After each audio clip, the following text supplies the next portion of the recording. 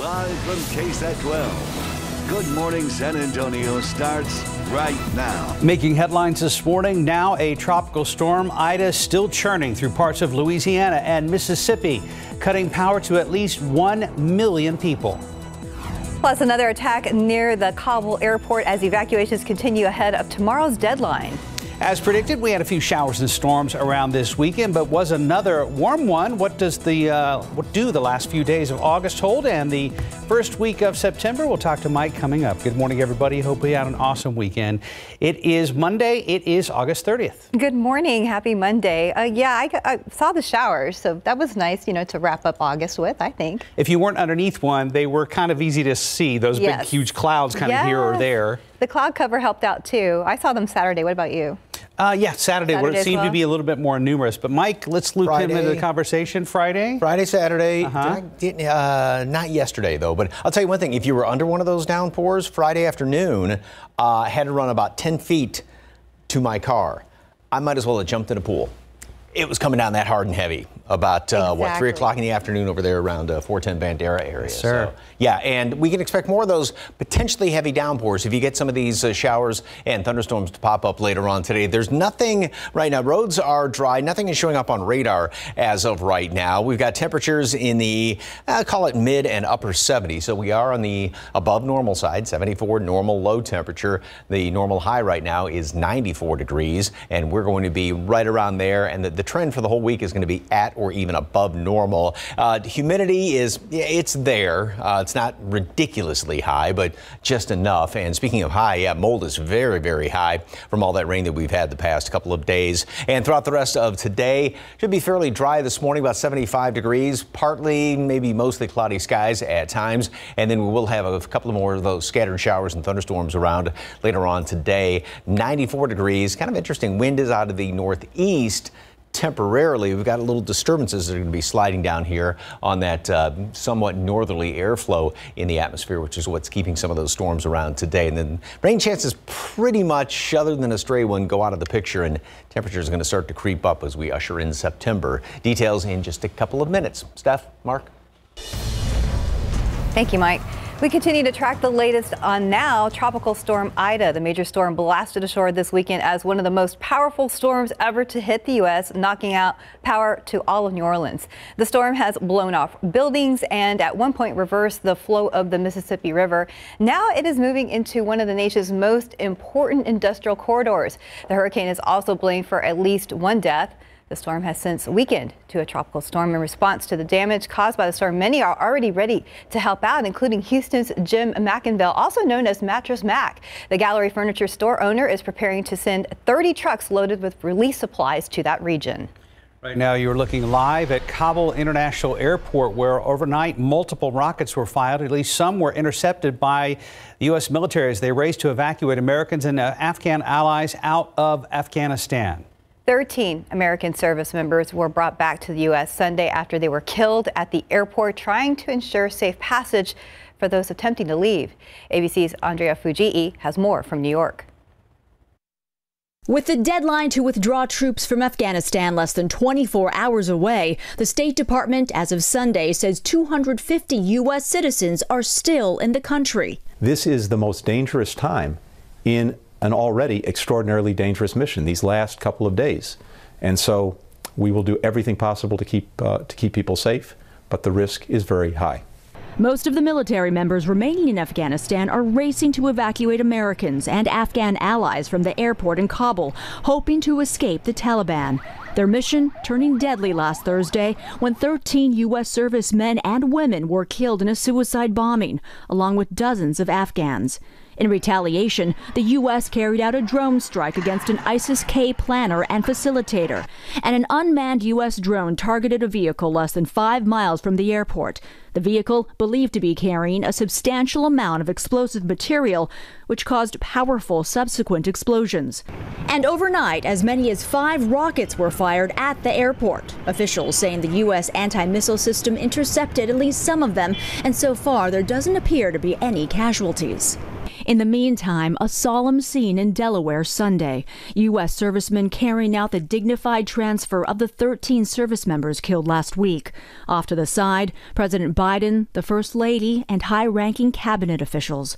All of those killed were children or even infants in 2001 at the start of the war, including 20 year old Marine Lance Corporal Rylee McCollum. Marine Lance Corporal David Espinoza, Army Staff Sergeant Ryan Knauss, Marine Corporal Hunter Lopez, and 23 year old Marine Sergeant Nicole Gee President Biden has now directed the Homeland Security Department to take the lead in resettling those refugees who've been evacuated out of Afghanistan. Andrea Fujii, ABC News, New York.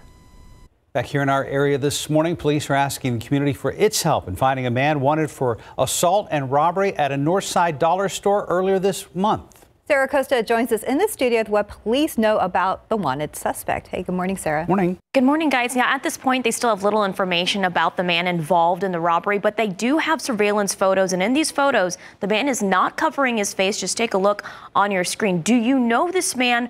Or recognize him in these surveillance photos. This man with a shaved head, white t-shirt, and jeans is seen carrying items inside a Northside Family Dollar store from two weeks ago, Monday, August 16th, just after 8 p.m. The store is located in the 5000 block of Blanco Road. Police say this unknown male suspect allegedly stole items from the Family Dollar.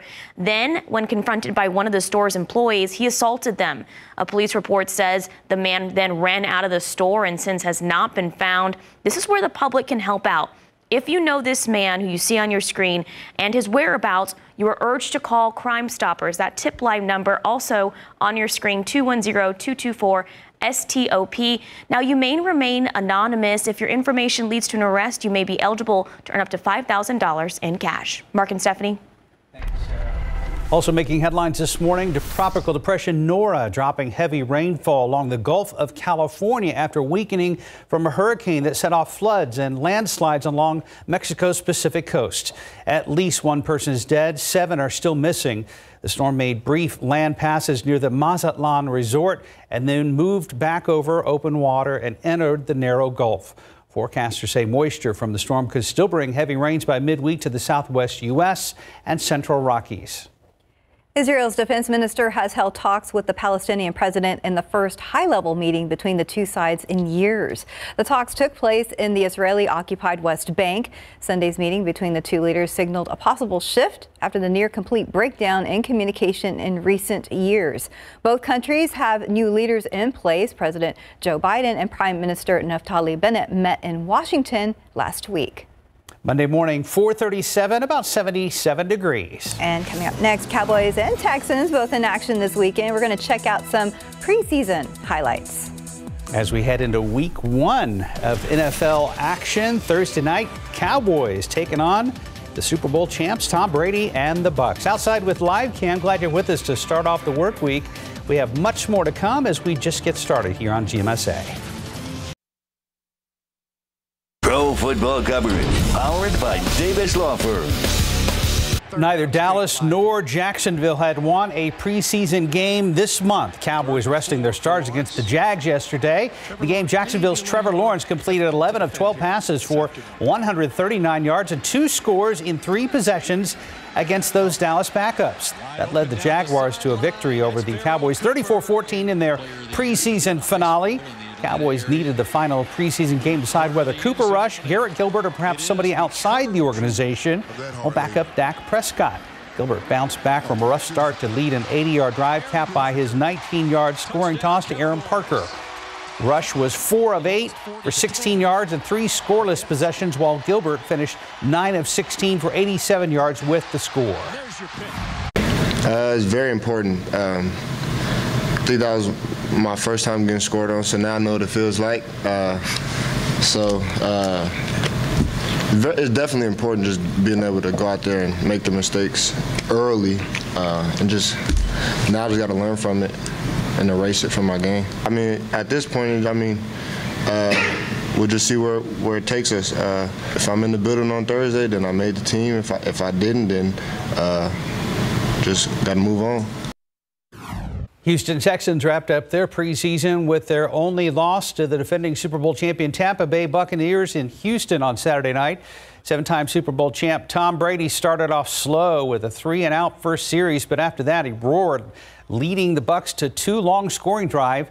Deshaun Watson was a no show for the game, not even on the sidelines. It was actually the Texans defense that would score their first points when Demarcus Walker sacked backup quarterback Blaine Gabbert in the end zone for a safety. Texans defense also grabbed three turnovers, two fumble recoveries, and an interception to give them 10 takeaways this preseason compared to nine in all of the last regular season. But the offense gave it away more than they should in the 2013, rather 23-16 loss. All right, so for week one, here is the NFL schedule. It's Cowboys at the Bucs this Thursday night, September 9th at 720. Jaguars over at Houston taking on the Texans. That was Sunday. It's coming up Sunday, September 12th at noon. So here we go. That's exciting, but a tough first game. For the Cowboys. Yes. Definitely. Definitely. Time now 443, about 77 degrees. Former Theranos CEO preparing to go on trial for fraud. We have a preview. And welcome back. It's 446. Former Theranos CEO Elizabeth Holmes is now revealing she was abused as she prepares to go on trial for fraud. ABC's Rebecca Jarvis has the details in today's GMA First Look. In this morning's GMA First Look, Elizabeth Holmes facing justice. We will change our lives and our world. Holmes, once a rising star of Silicon Valley with her Steve Jobs inspired wardrobe and the false promise that her company Theranos would revolutionize healthcare, heading to court this week.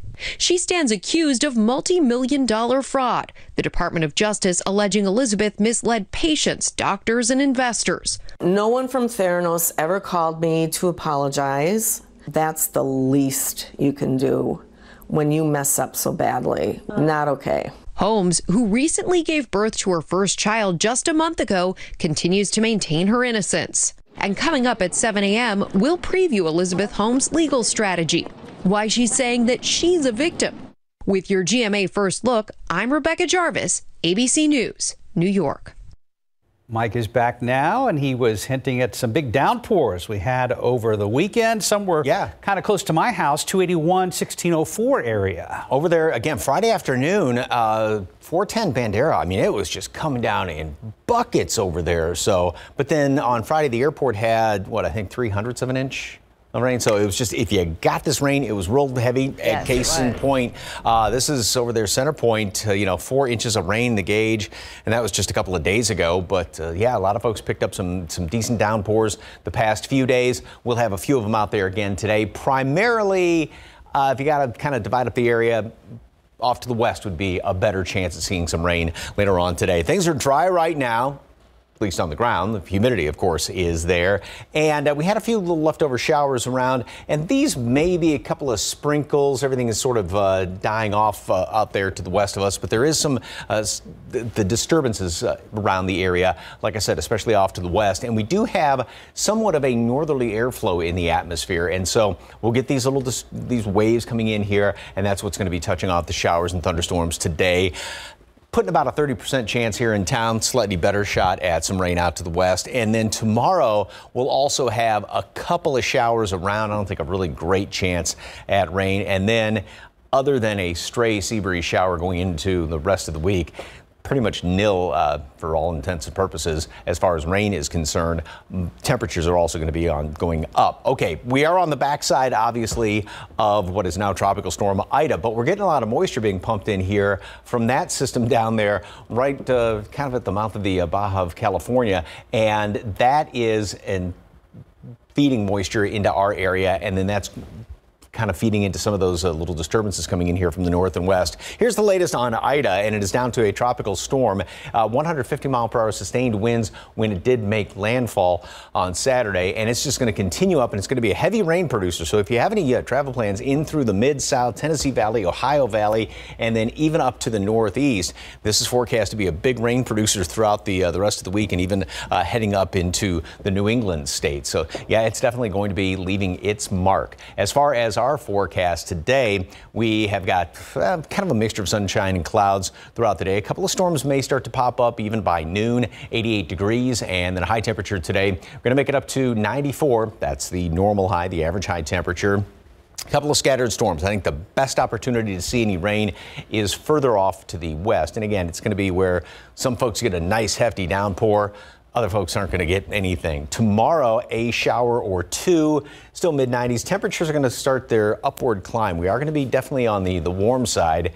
Like I said, a shower or two, even if it's not mentioned there along the, the sea breeze, that'll be about it. I think uh, one or two uh, thunderstorms over the weekend. But still, it's going to be pretty hot mm. with September starting on Wednesday, and it's going to be starting above normal. And but, autumn is September 22nd? Yes. All right. I always get confused with the 21st, 22nd, right around yeah. there, but it's still about three weeks away. But the unofficial end of uh, summer is Sunday.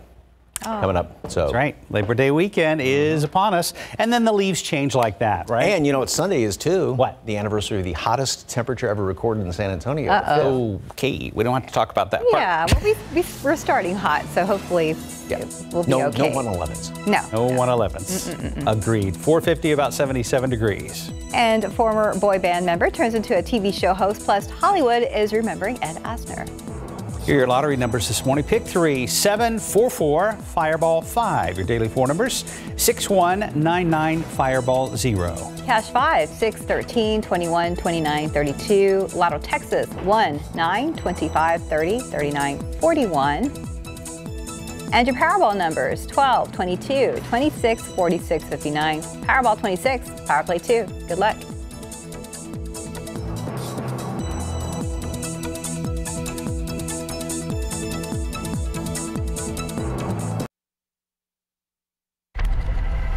454, another sequel is at the top of the box office, this one involving a popular 90s horror film. Plus, a former pop star is tearing up the hearts of a popular TV show. Here's ABC's Christopher Watson.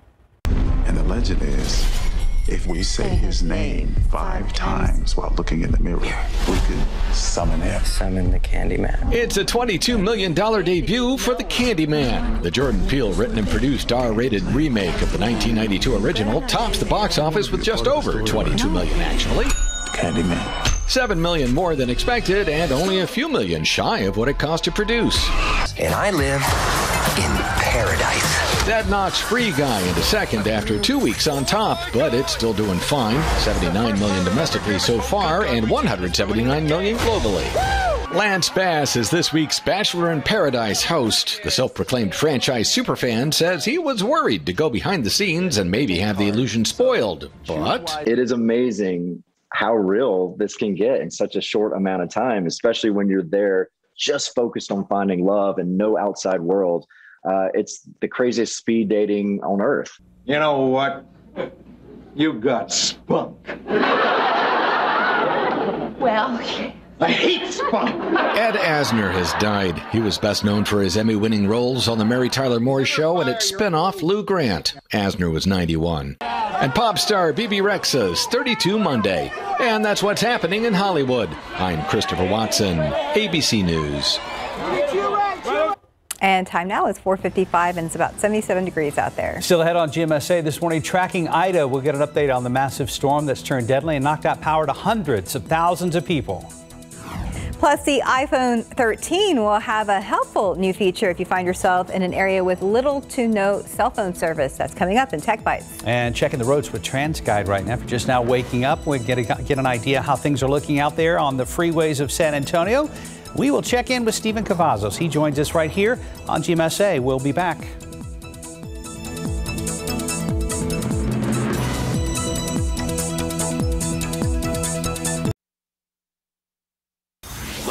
From KSAT 12. Good Morning San Antonio starts right now.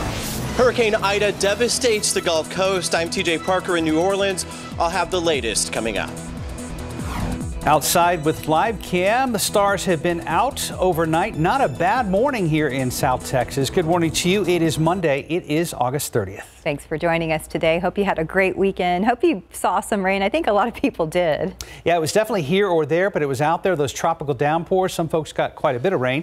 Here's Mike with an update on how our Monday is looking, although it's still pretty darn early, Mike. yeah, it's looking dark right now, but uh, it's looking about the same as what we had the past couple of days where it is going to be warm and humid and we will have some of those uh, scattered showers and thunderstorms popping up later on today. 76 degrees right now, so we're just a couple of notches above the normal average low temperature and we're going to make it up into the uh, mid and upper 90s later on today. Excuse me, low to mid 90s, beg your pardon, and which is about uh, a normal uh, high temperature. The aquifer, nice, nice big jump over the weekend. A lot of that rain fell in the recharge zone, went up 1.1 feet on yesterday's reading, and the allergens, because of all the moisture hanging around here, mold is very, very high, and it's probably going to be on the, the higher side, but it should be dropping down later on in the week. Okay, here's the latest on what is now tropical storm. Didn't change the banner up there, what was hurricane, but now just barely down to tropical storm um, Ida, 60 mile per hour winds, and it's going to continue to weaken as far as wind strength being over land, and it, it will also continue to work its way up to the north, going into the mid south, Tennessee, Ohio valleys, and then up to the northeast over the next couple of days. And uh, obviously, it had no effect on our weather. And really, uh, you know, as I was talking about last week, how it was going to help to keep us on the dry side. But there's another system which is kind of keeping some moisture around here. I'll explain more about that coming up. But warm and humid this morning, and then a couple of scattered storms later on today, just like what we've had over the weekend.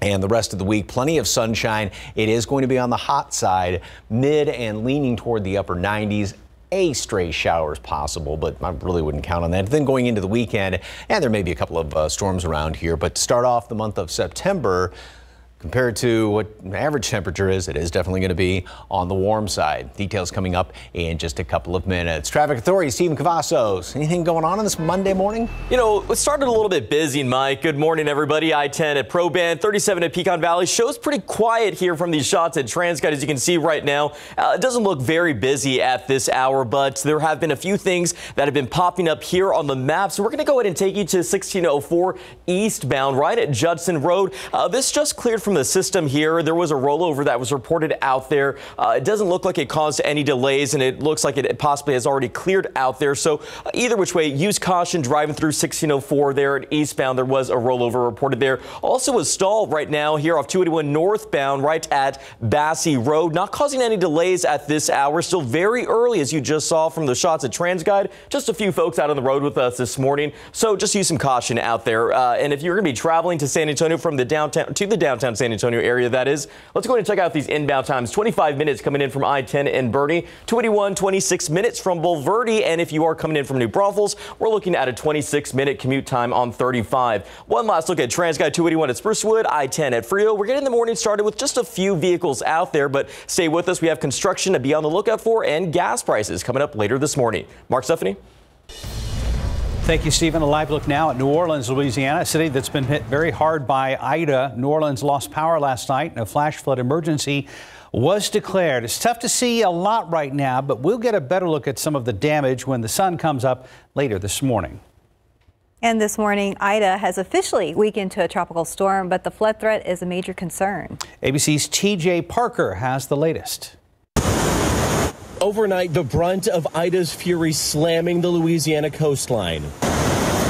Emergency officials getting calls from people who did not evacuate the barrier island of Grand Isle saying water in their home is up to their chest. In nearby Lafitte, authorities warning that a levee is failing. People have had and sustained damage to their homes. We have a, a senior center of independent living, um, but they had about a third of their roof um, get damaged. They were taking in water. Earlier, a barge that got loose slammed into a bridge that leads to Lafitte, making it nearly impossible for rescuers to reach people. I'm told the vessel has sunk. So those folks, if that's that is the case, and I've seen pictures, um, they're going to have to use a ferry for a couple of months. The largest health system in Louisiana, Ochsner Health, has been forced to evacuate 66 patients from two hospitals. In Houma, Louisiana, southwest of New Orleans, the powerful winds tearing the roof off this building. The storm surge and winds so powerful they temporarily reversed the flow of the Mississippi River near New Orleans. The U.S. Geological Survey calling it extremely uncommon. Overnight, more than 1 million power customers in Louisiana and Mississippi were without electricity. Cameras capturing the moment all of New Orleans went dark. Ida roaring ashore 16 years to the day after Hurricane Katrina. The storm, now a major test for the city's hurricane protection system, which was not in place when the levees failed during Katrina. Will it be tested? Yes. Uh, but it was built for this moment. In nearby St. Bernard Parish, the parish president warns that recovery will take months, not weeks. TJ Parker, ABC News in New Orleans, Louisiana. And back here at home, police are searching for a man who allegedly stole from a Northside dollar store and then assaulted one of the store's employees earlier this month. Sarah Costa joins us live here in studio with what police know about the incident. Now police have photos of that suspect, Sarah? Yeah, that's right. Good morning, Mark and Stephanie. Police have not been able to identify the wanted suspect, but now they have photos from the store's surveillance cameras. Just take a look on your screen, see if you know or recognize this man. This man on your screen captured in these photos and not covering his face. He has a shaved head and is wearing a white t-shirt and jeans. In these photos, he is carrying items inside a North Side Family Dollar store from two weeks ago, Monday, August 16th, just after 8 p.m. The store is located in the 5000 block of Blanco Road. Police say this unknown male suspect allegedly stole items from the Family Dollar, and then when confronted by one of the store's employees, he allegedly assaulted them. A police report says the man ran out of the store and has since not been found. This is where the public can help out. If you know who this man is and his whereabouts, you are urged to call Crime Stoppers. That number on your screen right now, 210 224 STOP. You may remain anonymous if your information leads to arrest. You may also be eligible to earn up to $5,000 in cash. Mark and Stephanie. Thank you, Sarah. Over in Luling, a train track and roadway are finally back open after a tractor trailer and a train crashed yesterday afternoon. That crash happened around 2.30 yesterday near the intersection of Highway 90 and US 183. Officials say a truck carrying a wind turbine was trying to turn onto the highway while a train was approaching. The truck then overturned. Police say there was also some damage to the locomotive and the railroad crossing. Thankfully, no injuries were reported. Emergency crews were able to get everything cleared just before 10 last last night. This morning it's 506, about 77 degrees. And still ahead, details on a new feature on Apple's newest iPhone that makes it easier to connect people in low reception areas. And next, we're looking at why many people say the foster care system in Texas is broken. Taking a look outside with live cam this morning, we are starting off humid, but not too bad. Expect the heat today. We're going to be checking in with Mike soon. 10 minutes past the hour. Welcome back. Our latest episode of KSAT Explains takes a look at what many people say is the broken foster care system in Texas. Hundreds of displaced children have fallen through the cracks, but there are local organizations working to make sure some of those children have a safety net as they age out of the system. RJ Marquez introduces us to a local woman who connected with one of these organizations and has a new outlook on life.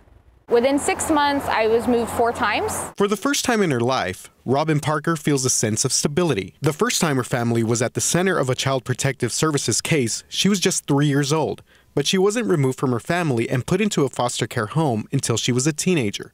I was very angry as a teenager, um, and sometimes I took it out on my foster parents. Sometimes I took it out on the, the foster girls that I was roomed with. But many other times, Robin felt like she had to hide her emotions and feelings out of fear of not knowing where she would go next. It was hard because I also had to contain myself. Because if I showed too much emotion or I got too difficult, they could put notice on me and they could send me away. And that was something I didn't want to do. I didn't want to move anymore. While Robin was in the system, her parents were incarcerated and she wasn't close to any other family members. Like many other foster children, every day in the system for Robin felt like a struggle for survival and to find a sense of normalcy. You want to be normal and you can't be normal.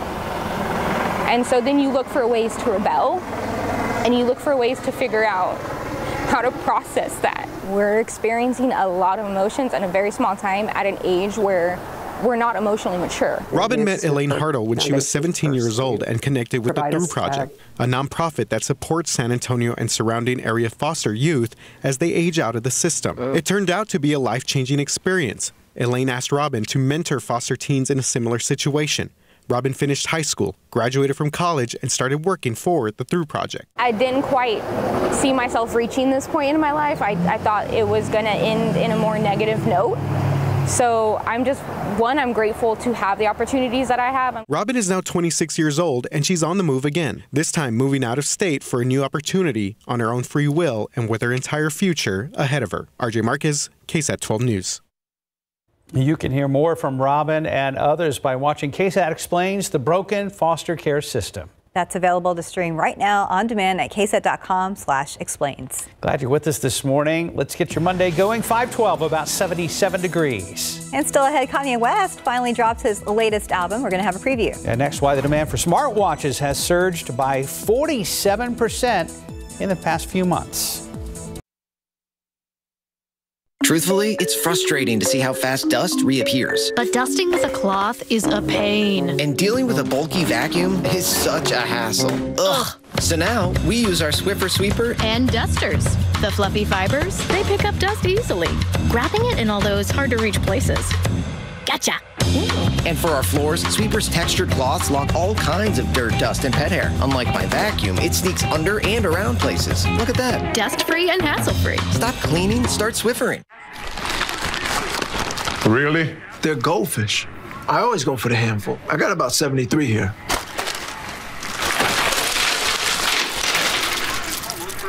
I get more than 73. Go for the handful.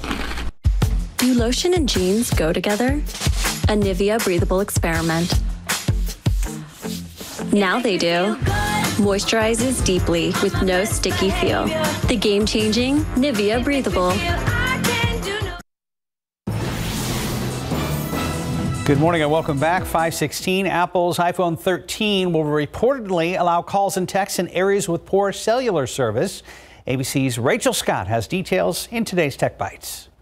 In today's Tech Bites, new details on the next iPhone. The iPhone 13 will reportedly feature satellite connectivity, allowing users to make calls or send texts in areas without cell phone coverage. That's according to a well regarded Apple analyst. The new iPhone is expected next month. And smartwatch shipments are continuing to soar. They jumped nearly 50% this spring compared to last year. More than 18 million of the devices were shipped in the spring, the hottest sales period since 2018. And finally, Kanye West is new album is streaming. After repeated delays, the album titled Donda, in honor of the rapper's late mother, is now on Spotify, Apple Music, and Tidal. It has 27 tracks and features collabs with Jay Z, The Weeknd, and others. There's no album cover art, just a black square. Those are your tech bites. Have a great day. It's now 517 go ahead and check in with Stephen Cavazos. It looked pretty quiet out there last time I looked. Yeah, good start to the Monday morning in a new week as we see these few vehicles out on the roads with us right now. We're getting a few things uh, started here. Let's get our clicker going. It's having a Monday as well. I-10 at Probandt shows just a few folks out there right now. Again, getting their morning started early. Uh, nothing big to talk about. So let's go ahead and bring you to the map and show you that we did have a little bit of a busy start. Uh, crash that was reported off 1604 has since cleared. Uh, still have that stalled vehicle out at 281 northbound right at Basse Road, but it doesn't appear that we're seeing any delays at this hour. So things to be on the lookout for in the coming days. Tonight, actually, we have some overnight construction that's going to lead to a lane closure for signage installation. Now, this will lead to that alternating northbound main lane closure at Loop 1604 to Stone Oak Parkway and TPC Parkway. It's going to be going on later tonight. Should be wrapping up from fr uh, Friday, September 3rd from 9 in the evening to 5 in the morning. So again, mark your calendars for that construction starting later tonight. And if one of the places you need to stop by before grabbing that cup of coffee is the gas station. Of course, we have those AAA gas prices here.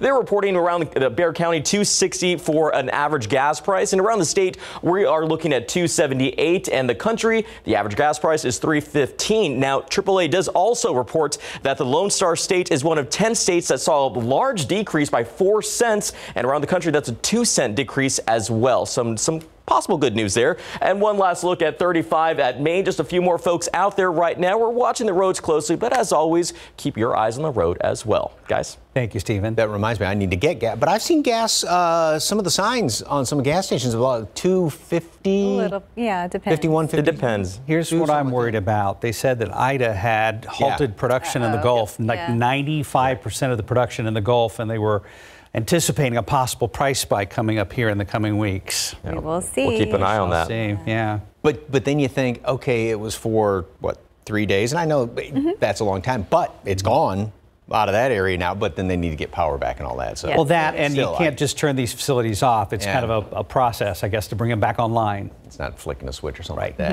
No. Wishful thinking on our part. Anyway, uh, this is an interesting picture, and you know, looked outside, thought there was a, a tornado funnel cloud out there, and these are, are what you see when we get these, you know, tropical downpours. Clouds move in, and you get these intense rain shafts, and that's what that is, as opposed to, you know, where the rain is just covering the whole area. And no, this is not a, a weather pattern that's conducive, obviously, to tornadoes, but it is pretty uh, kind of ominous looking, like I said. And also, if you're underneath that rain shaft, boy, you're going to be getting quite the downpour with those, and that's going to be a possibility again today. So it's pretty tranquil out there right now, nothing going on.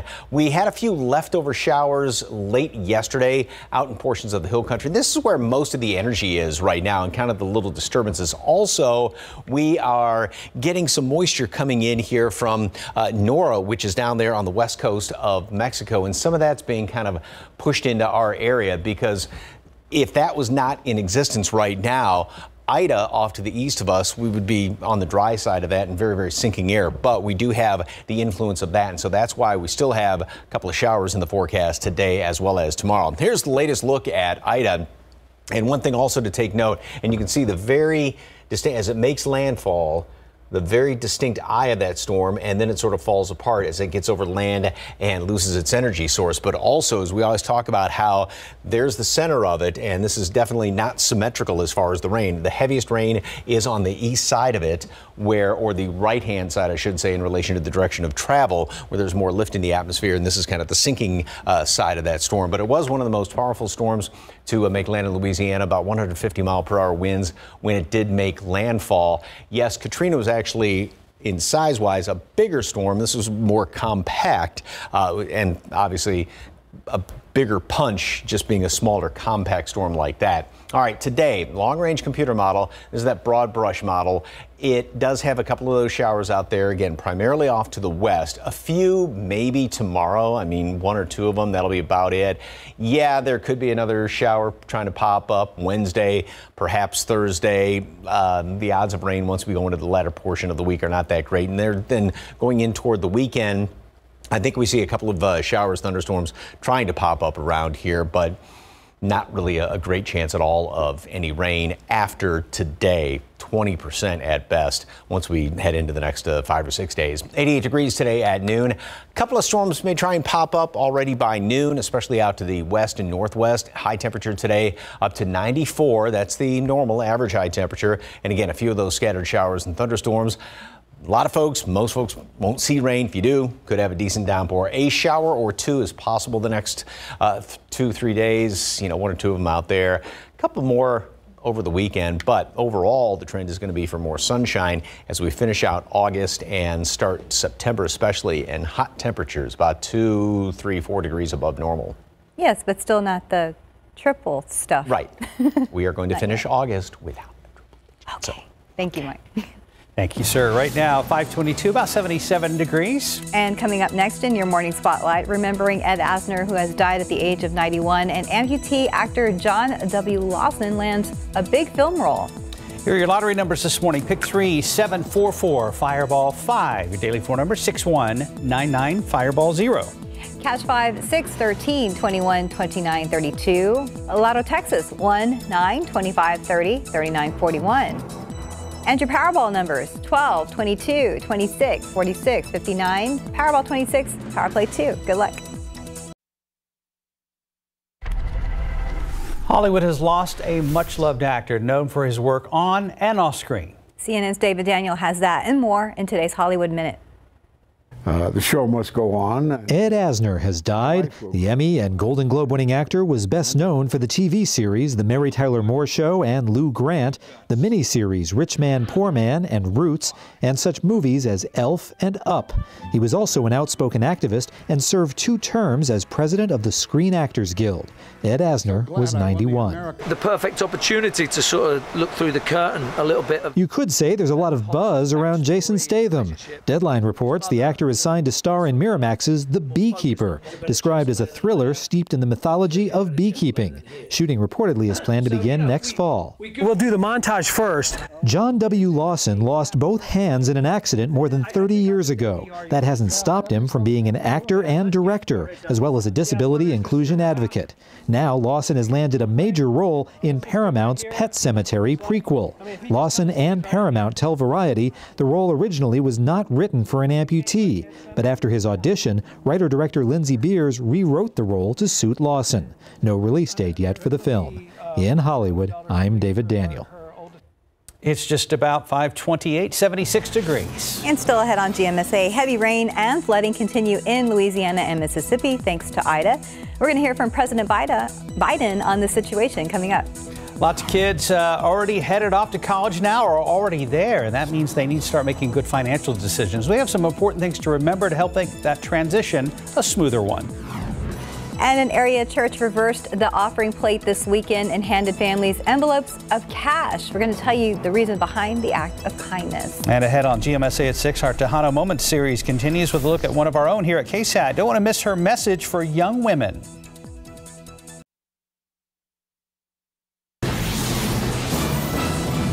This morning, we continue to track Ida as the storm churns through parts of Louisiana and Mississippi.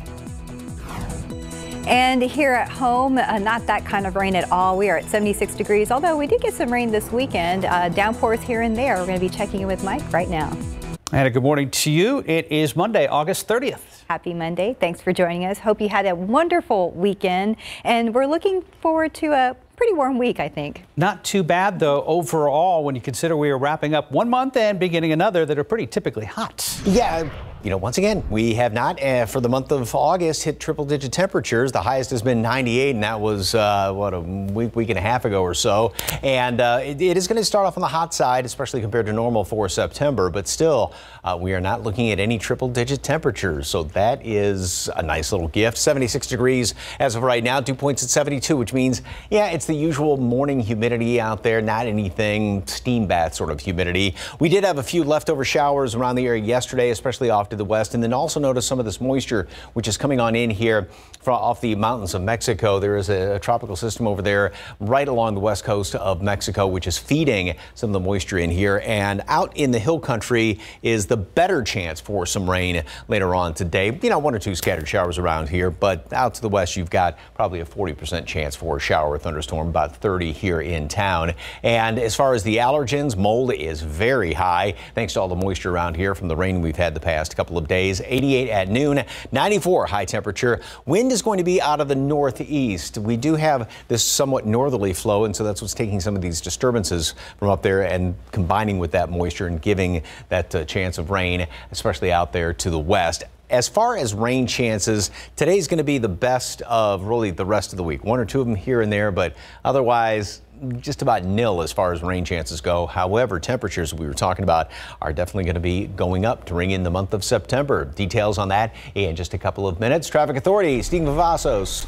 What's going on, sir? Hey, good morning, Mike. Uh, we have had some scattered issues out on the roadways this morning. They've been clearing up pretty quickly here, but let's go ahead and take you here to US 90 in Montgomery. There was construction happening there last week. Looks like it's cleared out. Loop 410 at Marbach shows a pretty good commute so far, but let's go ahead and bring you to the map right now. While it does show a pretty green start to the morning, we have been seeing those issues, but again, they have been cleared out. One of them that just popped up is a stall right here, US 90 eastbound at Zarzamora. Now, these stalls have been coming up and they've been uh, clearing out right rather quickly. So just check those vehicles before you hit the roadways. And if you're going to be traveling to San Antonio from any of these neighboring communities, well, it is still pretty green right now. If you're coming in from Seguin on I-10, we got half an hour for you at this hour. And let's go ahead and take a look at La Vernia on 87, 23 minutes, 28 minutes coming in from 37 in Floresville. So, you know, it has been a pretty easy start to this Monday morning as we're starting a new week. People can get out and maybe grab that cup of coffee before heading to their destination. But we're watching the roads closely and we'll have more construction to be on the lookout for coming up later this morning on GMSA. Mark Stephanie.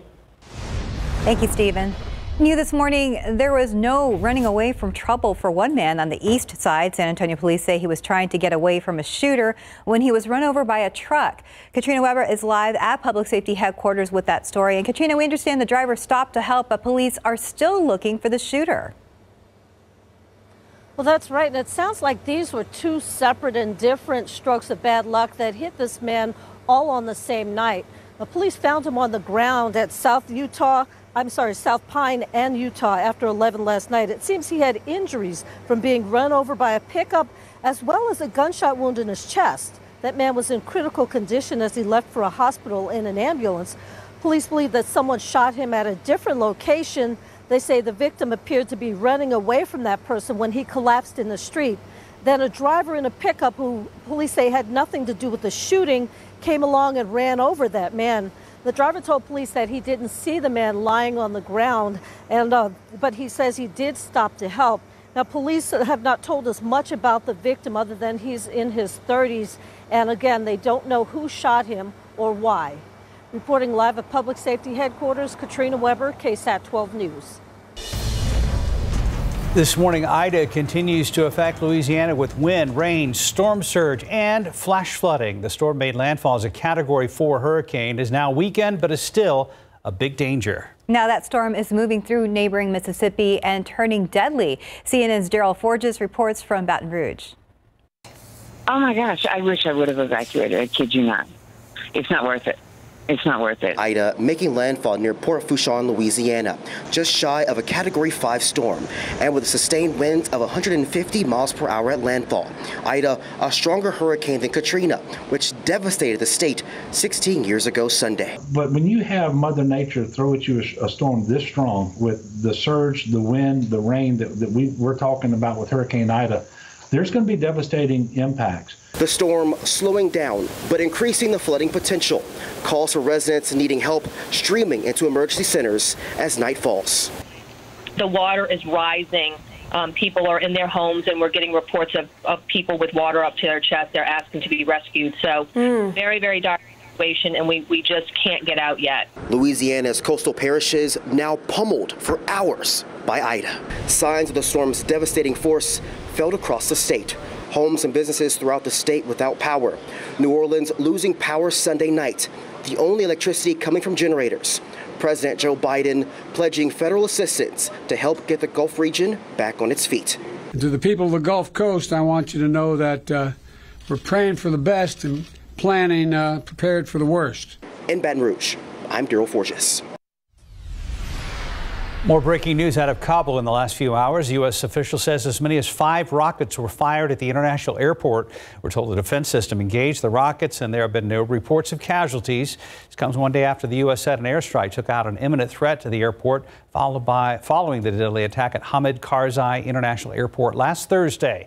That attack left at least 183 dead, including uh, 13 U.S. military personnel. White House Press Secretary Jen Psaki says that President Biden has been briefed on the latest rocket attack and was informed that, quote, operations continue uninterrupted at HKIA for the airport. The official deadline to withdraw is tomorrow. The UN Atomic Agency says North Korea appears to have restarted the operation of its main nuclear reactor used to produce weapon fuels. The annual report comes as North Korea has openly threatened to enlarge its nuclear arsenal amid long dormant nuclear di diplomacy with the United States. The report refers to a 5 megawatt reactor at the North's main nuclear complex. The reactor produces plutonium one of the two key ingredients to build nuclear weapons, along with highly enriched uranium. In California, the Caldor fire has now been burning east of Sacramento for more than two weeks. Authorities say the firefighters on the line are experiencing the highest temperatures so far this season as well as some of the lowest humidities, which are down to just 8%. Firefighters doing their best to try to keep the fire off major highways and clear lower level vegetation to try to reduce the fire spread. Here at home, we're now 17 months into this pandemic, and still the image of the long lines at the San Antonio Food Bank makes a distribution ingrained in our minds. This weekend, leading SA, we learned about the need in the community. Max Massey has the details. Yes, President and CEO of the San Antonio Food Bank, Eric Cooper, joined us live. We talked about a lot. We talked about the consistent need here in and around San Antonio. We talked about other programs, including dipping into affordable housing for people in our region. And of course, in anticipation of Hurricane Ida, we talked about how they are stepping up and helping out. Take a listen. The food bank's known for fighting that daily disaster of poverty, but when a natural disaster steps up, uh, we step up to that too. And so um, you know, whether man-made or or Mother Nature.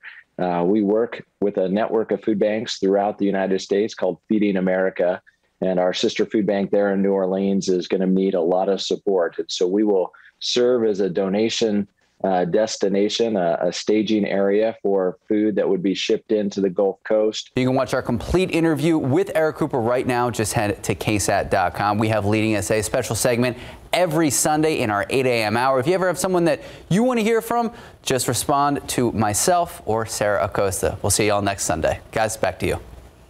And time now, it's 539. It's about 76 degrees out there. Still ahead on GMSA, important details on a meat recall that you need to know about.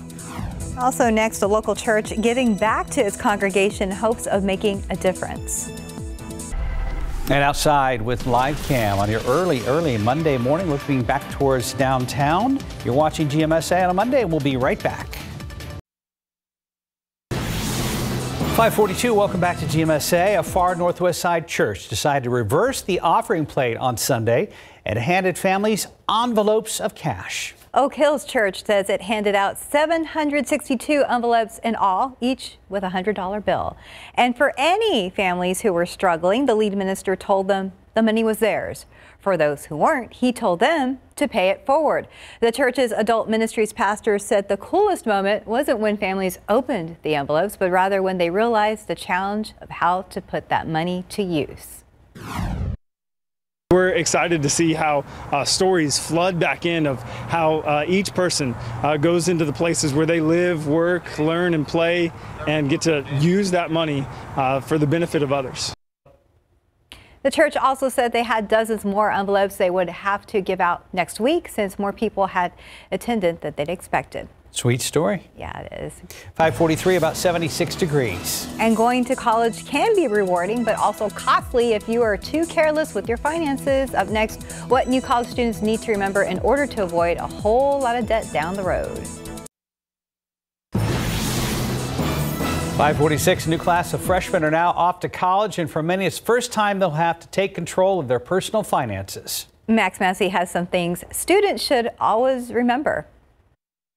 Financial website Money Under 30 put together a few suggestions to help make the transition to college a smooth one. First up, become financially literate. That means spending time reading or listening to podcasts about personal finance. The more you know about money and the more you know how to manage it, the better. Also, avoid credit card, car loan, and student loan debt if possible. If student loans are necessary, make sure you're getting the one that best fits your need. Compare everything from interest rates to repayment terms and make sure any student loans are used for appropriate expenses like tuition tuition, not personal purchases like clothes. If you do have a credit card, use it responsibly. Pay off the balance in full each month, which will help you build your credit. And if you're shopping for a credit card, check ones designed specially for college students. Chase, Discover, and Bank of America are among those offering special cards. If possible, work, a job, or even two jobs can help you graduate without taking on additional debt for those living expenses. Max Massey, KSAT 12 News.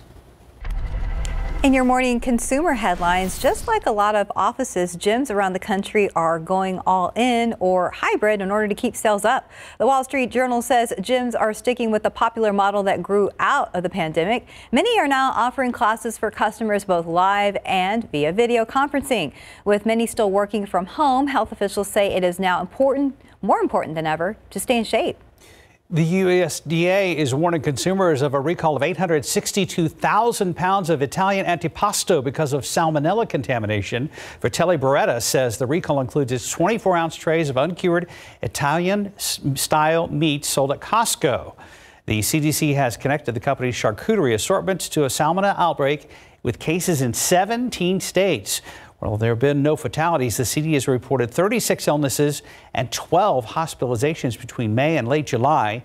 People who have purchased the product can return it to their local Costco or call the company's hotline.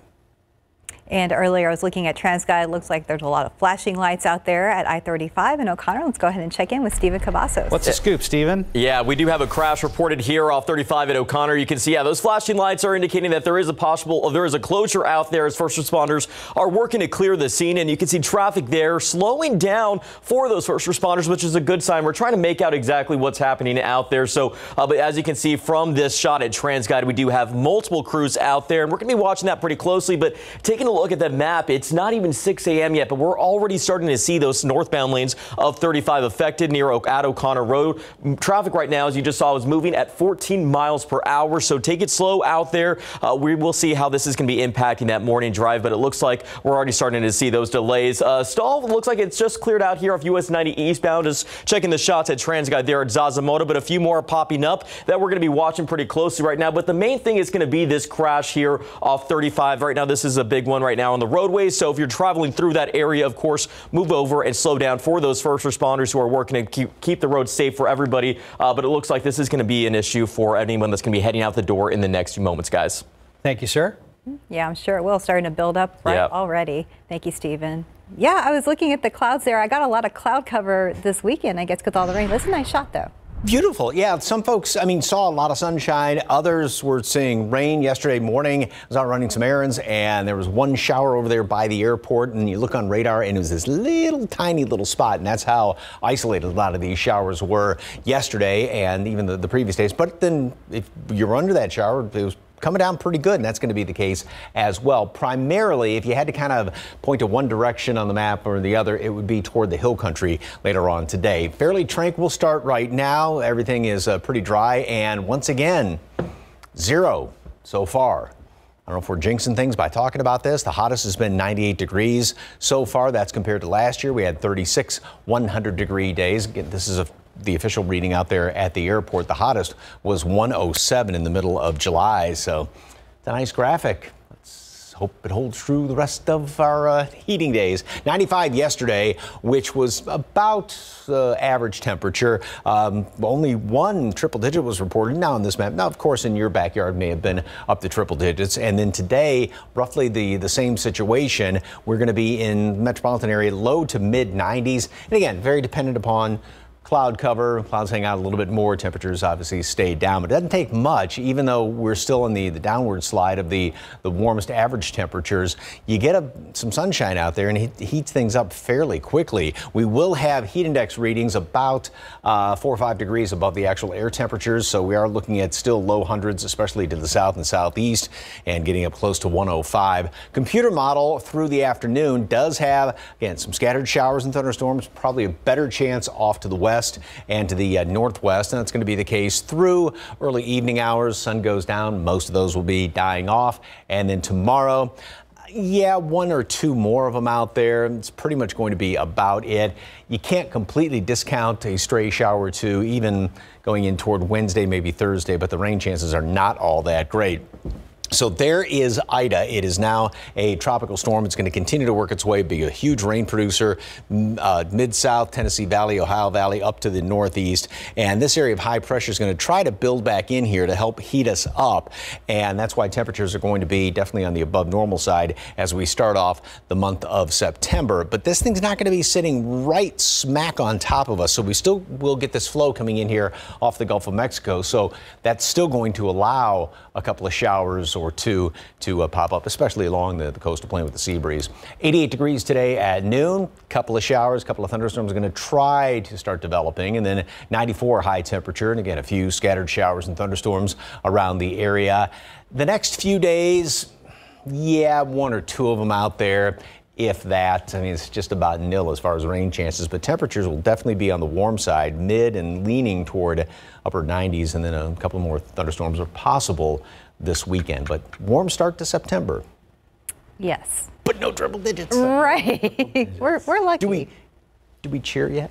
Um, No, not yet. next week. Maybe Next week. we can think about ordering the banners to celebrate at some point. But then think back 2005, third week of September. I think it was like 105 all week long. Oh, wow. Okay. Not saying that'll repeat, but I'm just saying it can happen. In So- Why don't we talk about this again in a month? Yeah. Can we do that? We'll How about those it. Cowboys? Mike. We'll find out Thursday night. Yeah. 553, about 76 degrees.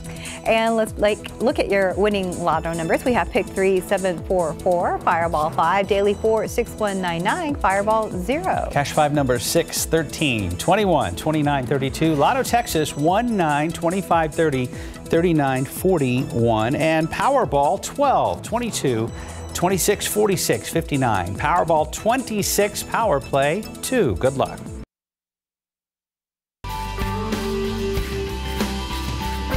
On Wednesday, we'll be hosting a KSAT Community Town Hall discussing food insecurity in Bexar County. Max Massey and Sarah Acosta will be joined by the CEO of the San Antonio Food Bank, Eric Cooper, and experts on nutrition and health. If you have any questions for our panelists, you can submit them right now on ksat.com. Again, our Feeding Tomorrow Town Hall will be Wednesday at 2 p.m. Look for that. At our next hour, GMSA this morning, a man's in the hospital after he was shot there and run over by a truck on the east side. We'll have the details. Cleanup underway after an early morning house fire on the city's northeast side. We'll tell you if anyone was hurt. And we're staying on top of what is now Tropical Storm Ida. Hundreds of thousands without power after the storm tore through Louisiana and Mississippi. We'll talk to Mike about your forecast, and then we'll check in with Stephen Cavazos and get an update on this situation involving first responders at I 35 and O'Connor. We'll be back.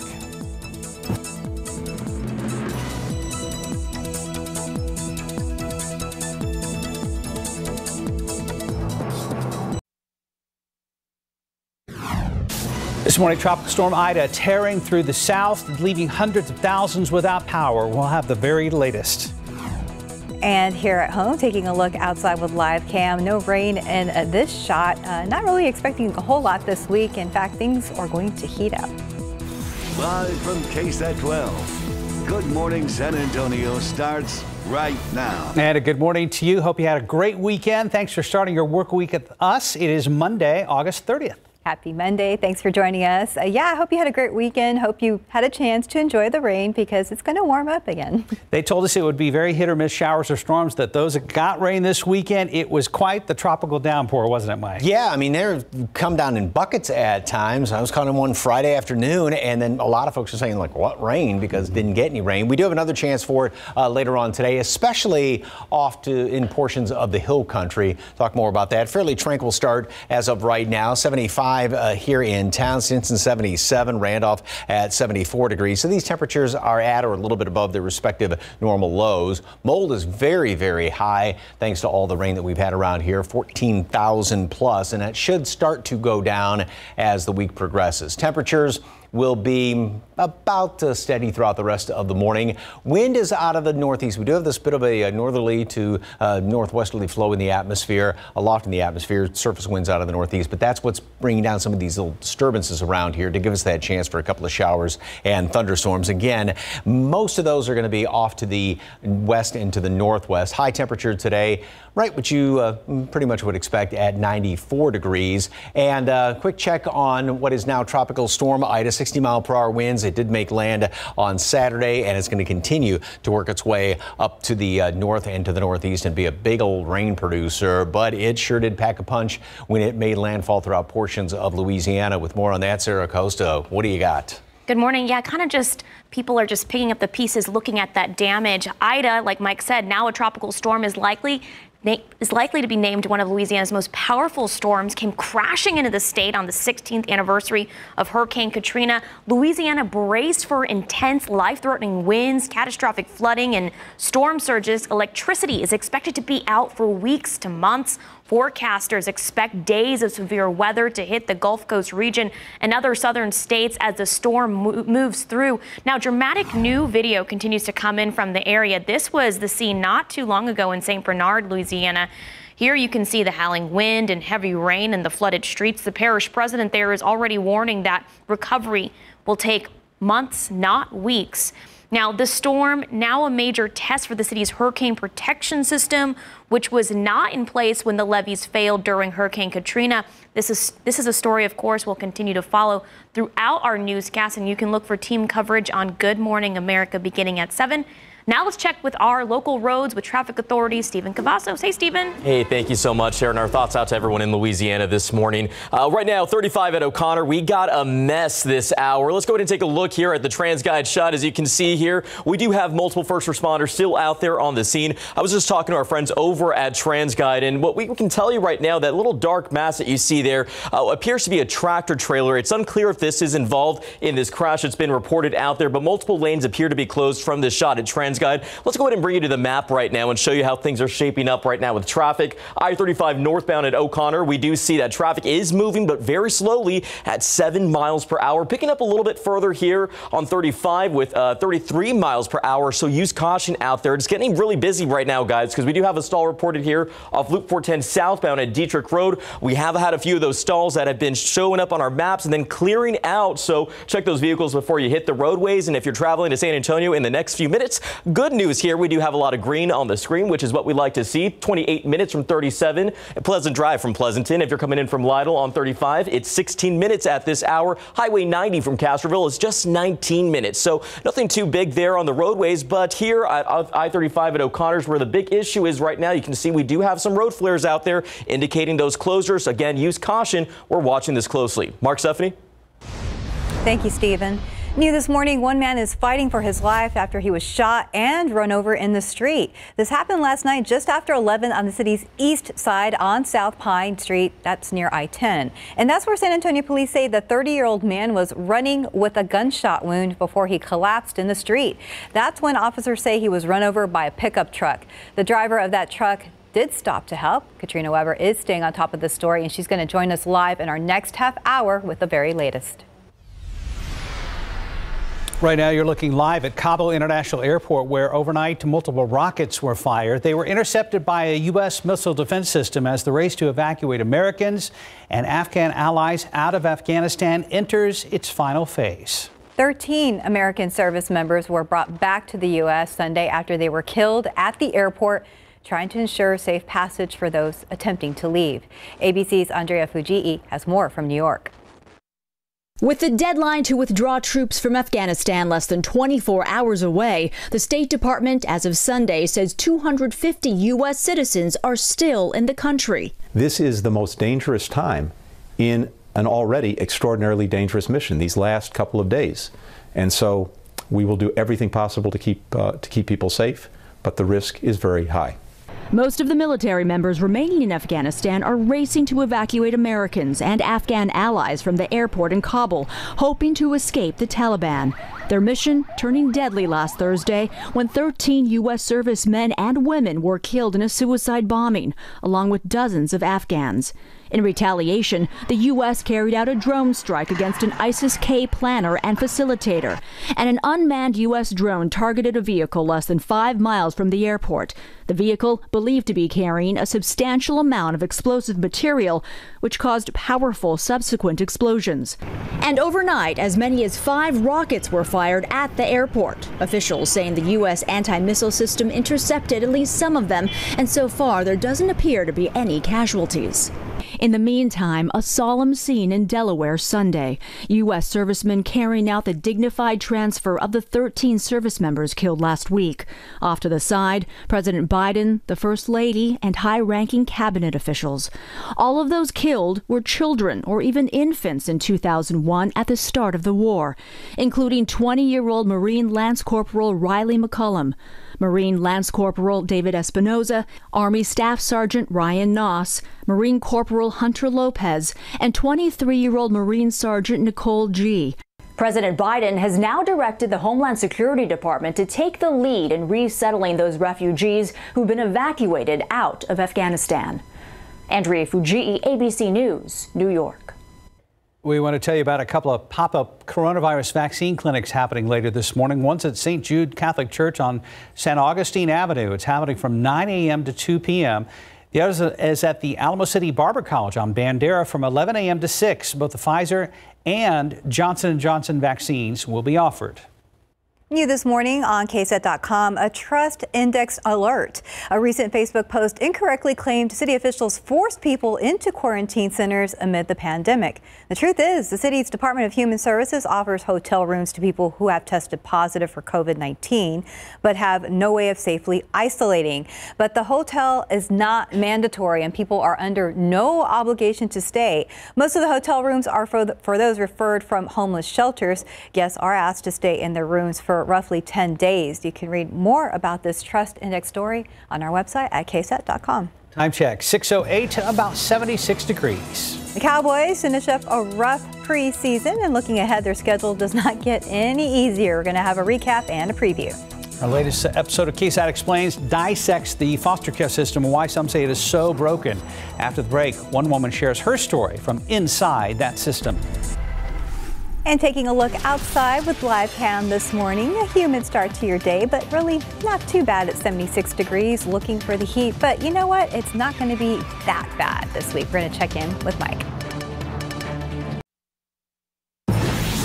And welcome back at 612. Our latest episode of KSAT Explains takes a look at what many people say is the broken foster care system in Texas. Hundreds of displaced children have fallen through the cracks. But there are local organizations working to make sure some of those children have a safety net as they age out of the system. RJ Marquez introduces us to a local woman who connected with one of those organizations and has a new outlook on life. Within six months, I was moved four times. For the first time in her life, Robin Parker feels a sense of stability. The first time her family was at the center of a Child Protective Services case, she was just three years old but she wasn't removed from her family and put into a foster care home until she was a teenager. I was very angry as a teenager, um, and sometimes I took it out on my foster parents. Sometimes I took it out on the, the foster girls that I was roomed with. But many other times, Robin felt like she had to hide her emotions and feelings out of fear of not knowing where she would go next. It was hard because I also had to contain myself. Because if I showed too much emotion or I got too difficult, they could put notice on me and they could send me away. And that was something I didn't want to do. I didn't want to move anymore. While Robin was in the system, her parents were incarcerated and she wasn't close to any other family members. Like many other foster children, every day in the system for Robin felt like a struggle for survival and to find a sense of normalcy. You want to be normal and you can't be normal. And so then you look for ways to rebel and you look for ways to figure out how to process that. We're experiencing a lot of emotions in a very small time at an age where we're not emotionally mature. Robin met Elaine Hartle when she was 17 years old and connected with the THRU Project, a nonprofit that supports San Antonio and surrounding area foster youth as they age out of the system. It turned out to be a life changing experience. Elaine asked Robin to mentor foster teens in a similar situation. Robin finished high school, graduated from college, and started working for the THRU Project. I didn't quite see myself reaching this point in my life. I, I thought it was going to end in a more negative note. So I'm just, one, I'm grateful to have the opportunities that I have. Robin is now 26 years old and she's on the move again, this time moving out of state for a new opportunity on her own free will and with her entire future ahead of her. RJ Marquez, KSAT 12 News. You can hear more from Robin and others about the foster care system by watching KSAT Explains the Broken Foster Care System. It's available to stream right now on demand at ksat.com slash explains. Still seeing some flashing lights out there in part of I-35, Stephen. If you take a look there, three lanes are also blocked there, Mark and Seth, which is obviously leading to some big delays for our early morning commuters. Uh, let's go ahead and take a closer look here from the shot at TransGuide. Uh, multiple lanes are closed right now. It appears three lanes. Uh, and as we mentioned a little bit earlier in the newscast, uh, it does appear that there is a tractor trailer there. Again, it is not clear if that was involved in this crash, but let's go ahead and take a look at the map and see how that's shaping up with traffic. Again, 35 northbound at O'Connor is where that is reported. Traffic moving at five miles per hour, so not very fast. This is going to be an issue if it's still out there within the next few moments, already causing those delays, but could lead to bigger delays if we still, still see that out there. So use some caution for those first responders. We do have a stall still reported out here, at Loop 410 southbound at Dietrich Road. And another stall, let's go ahead and take you right over here to Loop 1604, US 90, pardon me, eastbound at Loop 1604. And jumping up all the way to Leon Valley, we do see a stall here off I-10 westbound at Boerne Stage Road. So it is getting a little bit busier as we start this new work week. But as you can see on the map, what started as a pretty green morning is starting to shape up to be a little bit colorful, which is not necessarily what we like to see as people are going to be heading out the door in the next few moments. A different shot here at 35 at O'Connor. A little bit blurry though, but you can see where those road flares are set up again. Three lanes blocked there in those northbound lanes of 35 right at O'Connor. Traffic is moving, but Mark Steph, it's moving pretty slow. So just use some caution out there. Thank you, Stephen. Yeah, I got to watch out for that. Mike, uh, it's going to be a little warm, but you say we haven't hit the no, we haven't hit. We don't that, want to say it. We haven't hit that number officially uh, so far this year. Does it start with a one and end in a zero? Maybe. Uh, yep, haven't hit uh, here in town. Now, you may have hit it in your backyard, especially uh, down to the west and to the southwest along the Rio Grande Valley. But yeah, in the official numbers, not yet. And uh, it's not in the forecast. 75 uh, this morning. Temperatures are close to what the you would expect this time of year. And same thing later on this afternoon, 94 high temperature. And there will be a couple of scattered showers and thunderstorms out there. Wind is out of the northeast, a little unusual this time of year at about um, 10 to 15 miles per hour later on today. All right, here's a picture of, again, one of those big, hefty tropical downpours where most everybody did not see rain, but then there was that huge rain shaft. This is out there in uh, Hondo. And yeah, if you're underneath that rain shaft right there, it was coming down in buckets. Right now, fairly tranquil when you step outside. as far as any uh, precipitation, anything like that, we don't have anything showing up on the uh, on radar right now. Temperatures, again, what you would expect. It is warm. It is somewhat humid out there. Not ridiculously humid, though. Now, we're getting up to 74 for dew point there at Stinson, as well as down around Pleasanton. But elsewhere, it's tolerable humidity, if you will, and usual kind of daily cycle that we go through. The dew points are going to be dropping off somewhat later on this afternoon. Still enough humidity, especially down to the southeast, to give us those higher heat index readings, and it will feel a few degrees warmer than the actual air temperature. And then that humidity, of course, is going to be coming back up as the uh, after or as the morning goes on overnight into the early morning hours. A lot of moisture coming in here from the southwest. Of course, off to the east of us, that's what's left over. What is technically still tropical storm Ida, but there is another tropical system off the uh, west west coast of Mexico, and that's what's throwing a lot of moisture in our direction. And that's what's going to help to feed some potential showers and a, a couple of thunderstorms around here. Most of those if you had to kind of point to one direction or the other, the majority or the better chance of rain is going to be further out in parts of the hill country later on today. There'll be a few scattered ones here and there. And again, most folks won't see rain. If you do, it's going to be a pretty hefty downpour. And tropics, once again, there is Ida, and there's a couple other spots, one out in the middle of the Atlantic Ocean and then further off down to the uh, east that the Hurricane Center is watching as of right now. And then also going into the future, it's just kind of keeping an eye down here, which isn't that far out, out, of reach to keep an eye on the Caribbean, but down there in the Caribbean, maybe something trying to brew in the next about uh, four or five days out there in the tropics. All right, today it is going to be seasonably warm, humid out there, 88 degrees. A couple of showers going to try to develop already by noon, and then we'll see a few more by later on this afternoon. 94 high temperature. Again, some scattered showers and thunderstorms. Uh, put a about a 30% chance on it as far as uh, rain chances today. A little bit better shot out there at the in the hill country. And then tomorrow, Wednesday, yeah, a couple of showers are possible. Not very likely. Temperatures will definitely start to warm up. We're looking at some mid and even leaning toward upper 90s. And by the weekend, still on the warm side for Labor Day weekend, one or two showers or thunderstorm if you got weekend plans coming up here wouldn't change them as of right now. The unofficial end of summer.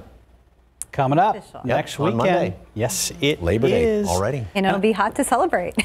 yes, indeed. It'll feel like summer still. Yeah. Thank you, Mike. 619, about 76 degrees. And the new iPhone may be coming with some big changes just ahead what it can mean for people in areas with poor cell phone service.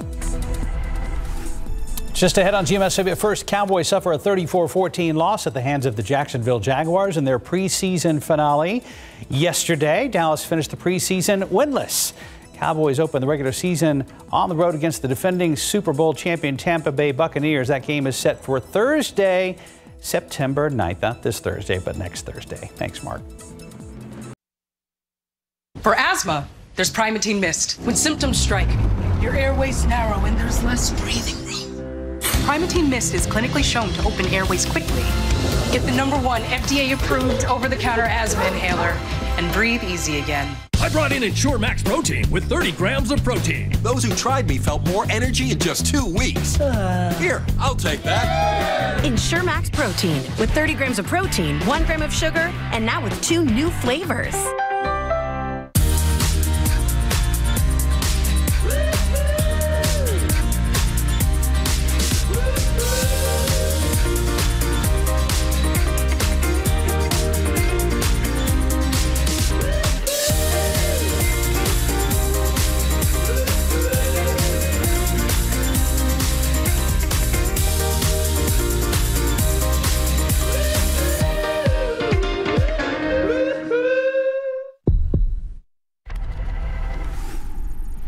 In this morning's GMA First Look, Elizabeth Holmes facing justice. We will change our lives and our world. Holmes, once a rising star of Silicon Valley with her Steve Jobs inspired wardrobe and the false promise that her company Theranos would revolutionize healthcare, heading to court this week. She stands accused of multi million dollar fraud, the Department of Justice alleging Elizabeth misled patients, doctors, and investors. No one from Theranos ever called me to apologize. That's the least you can do when you mess up so badly. Not okay. Holmes, who recently gave birth to her first child just a month ago, continues to maintain her innocence. And coming up at 7 a.m., we'll preview Elizabeth Holmes' legal strategy why she's saying that she's a victim. With your GMA First Look, I'm Rebecca Jarvis, ABC News, New York. Now to consumer news and new details on the next iPhone. The iPhone 13 will reportedly feature satellite connectivity, allowing users to make calls or send text in areas without cell coverage. That is according to an Apple analyst. The new iPhone's expected out next month. Smartwatch shipments are continuing to soar. They jumped nearly 50% this spring compared to last year. More than 18 million of the devices were shipped in the spring, and that's the hottest sales period since 2018. It's finally out. Kanye West's new album streaming now after repeated delays. The album titled Donda is now on Spotify, Apple Music, and Tidal. The album is named after the rapper's late mom. It has 27 tracks featuring collaborations with Jay-Z, The Weeknd, and others. There's no album cover art, just a black square. And time now is 625 and it's about 76 degrees out there. Still ahead on GMSA, violence continues in Afghanistan. The deadline, rather, for U.S. troop withdrawal inches closer and closer. We'll have the very latest. And back here at home, San Antonio police are investigating a violent scene as a man running from a shooter gets run over by a truck. Katrina Weber is standing by with the very latest in a live report. And traffic right now, we saw these flashing lights at I-35. Stephen Cavazos is here. He's sending out push alerts and updating you live on GMSA after the break.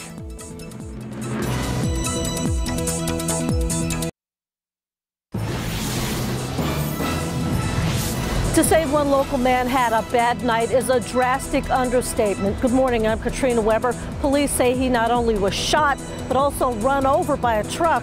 I'll tell you more about it. Hurricane Ida devastates the Gulf Coast. I'm TJ Parker in New Orleans. I'll have the latest coming up. And here at home on your early Monday morning, the sun is just now starting to peek over the horizon. And a good morning to you. It is Monday, August 30th. Happy Monday. Thank you for joining us. Hope you had a wonderful weekend and I hope you got some rain. And if not, maybe you had some cloud cover to cool things off a little bit. All in all, it worked out, kept us again below the century mark this weekend, Mike Osterhage. Yeah, temperatures were pretty much held in check. I mean, right about uh, average normal mm -hmm. readings, which right now is 94 degrees this time of year. And uh, by the way, talking about the uh, the sunrise, which occurs uh, roughly about uh, 10 minutes after 7 o'clock, but it's also now setting officially just before 8 o'clock. So, yes, the days continue to get shorter, not necessarily cooler, and that's going to be the situation this week.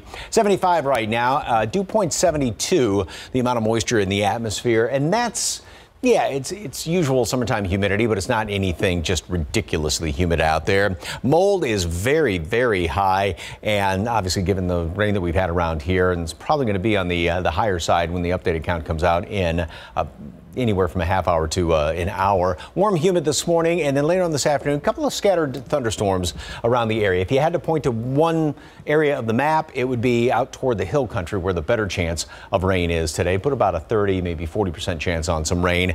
Rest of the week, plenty of sunshine, other than a stray shower along the coastal plain just going to be hot and getting somewhat hotter mid and looking at some upper 90s to ring in September. And then the weekend still going to be on the the hotter side of things, and there will be one or two showers or thunderstorms out there. If you have plans, outdoor plans for the long Labor Day weekend, I definitely would not change them, uh, but have plenty of water, shade, and sunscreen. Details coming up in just a couple of minutes. Traffic Authority, Stephen Cavazos. Anything big going on out there, sir? Yeah, Mike, and drivers can expect some delays here off 35 at O'Connor. You can see we do have some crews out there working to clear a crash. I've been there for about an hour now, and you can see right from this shot at TransGuide, we do have three lanes that are blocked blocked off right now. And from what looks like, it looks like there's attempts to tow a vehicle out of the area. As we've been mentioning that there is a tractor trailer that is also out there, but it's still unclear if that has in, it is involved in that crash or not. Again, we're working to get some information. We do have a crew heading out to the scene, but as you can see, three lanes are blocked right now, which is causing some delays there on 35 northbound at O'Connor. You can see traffic moving at six miles per hour,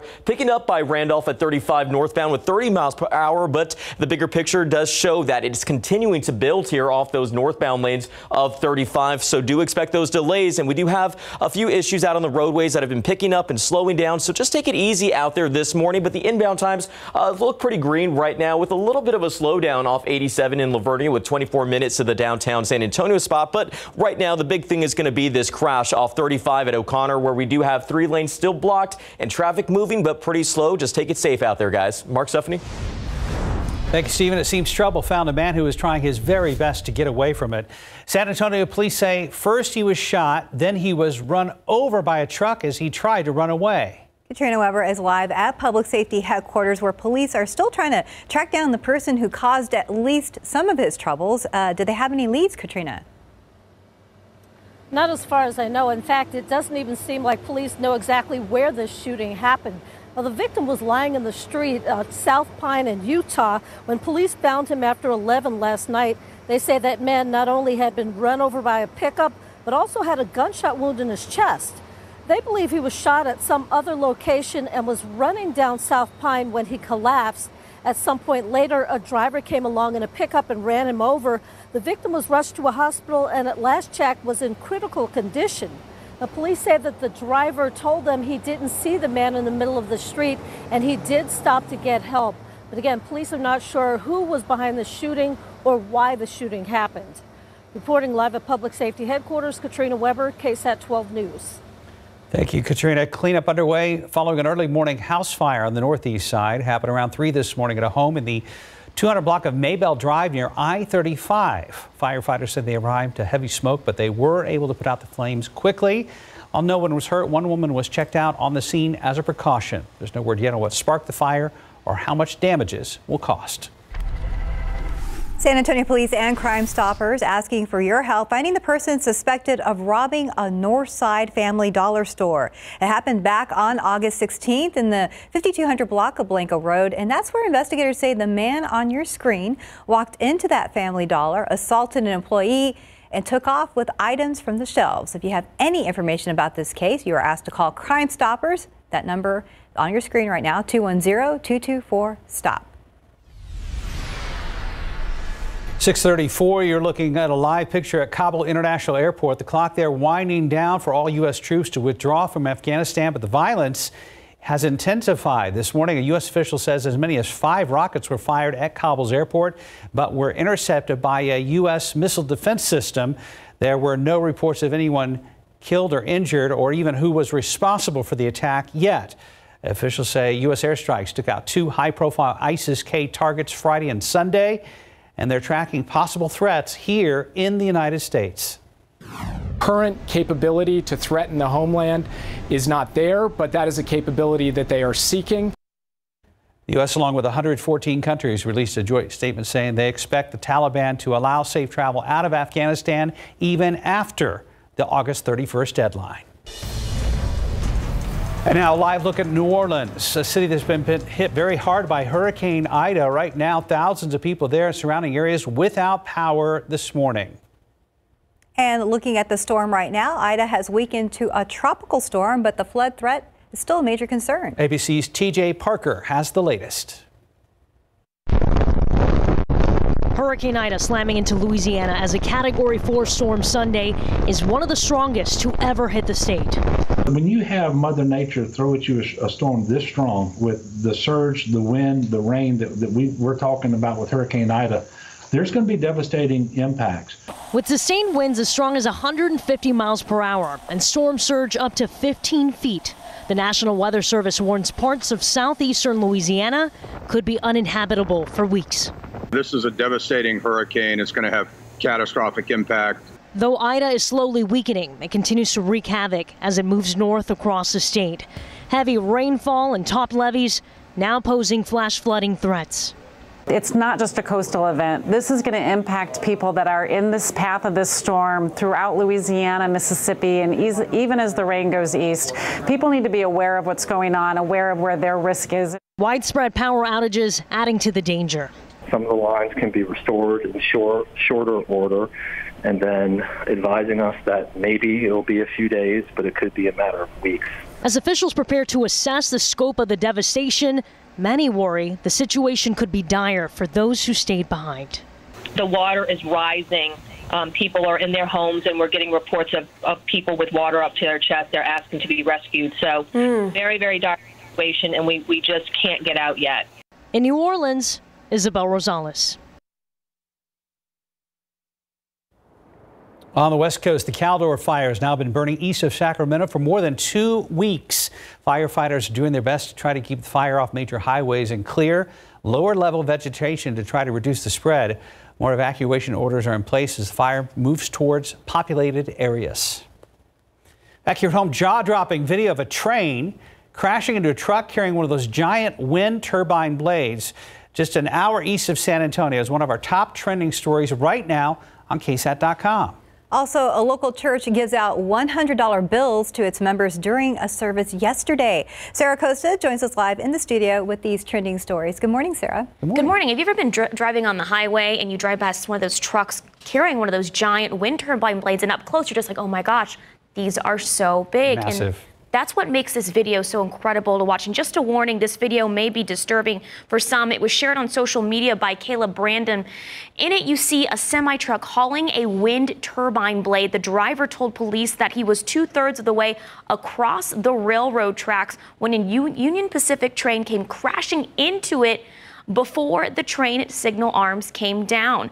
The crash happened around 2:30 yesterday near the intersection of Highway 90 and US 183 in Luling. Officials say the truck carrying a wind turbine was trying to turn onto the highway while a train was approaching. The truck then overturned. Police say there was also some damage to the train and railroad crossing. Thankfully, no injuries were reported. Emergency crews were able to get everything cleared just before 10 last night.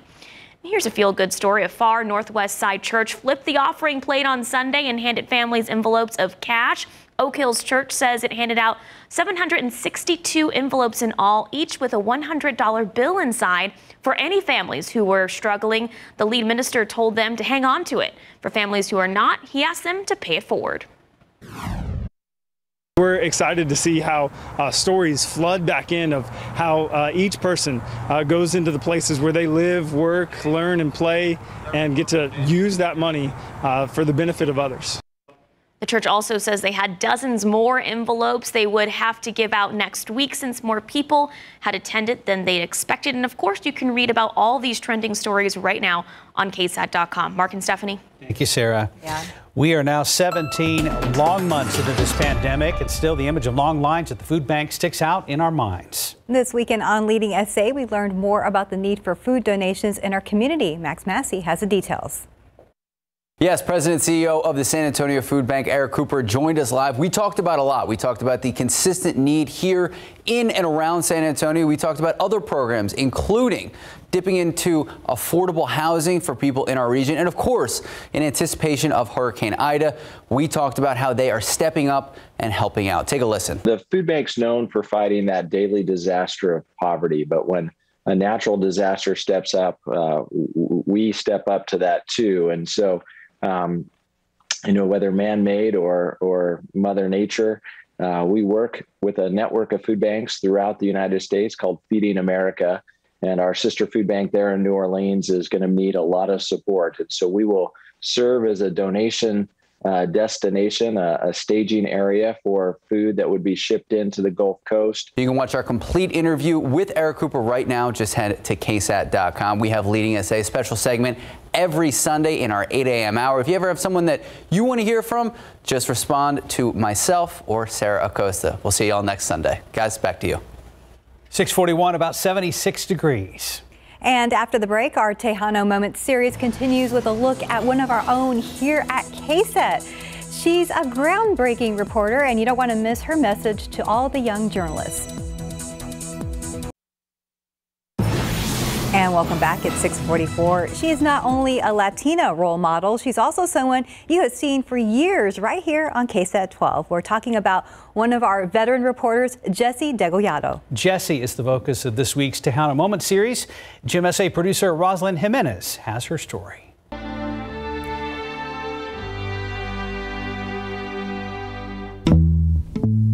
Curiosity and my love for the written word combined to become my desire to be a reporter. A familiar face and role model for Latinas here in South Texas. Born and raised in Laredo, KSAT's own Jessie Degollado says being a reporter was a dream she had ever since she was a little girl. My mother, in fact, told me, Ay, mijita, you're going to starve.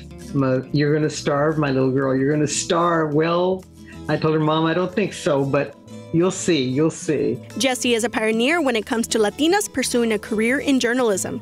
She first started her journey back in 1977 in the Valley, and eventually she made her way to KSAT in 1984. And she's been here ever since, covering countless stories. In Piedras Negras, in Uvalde County, in Monterrey, from the Davis Mountains in far west Texas, at the presidential residence, Los Pinos in Mexico City, at the papal site near Denver. And that work has not gone unnoticed. Jessie has received several prestigious awards awards.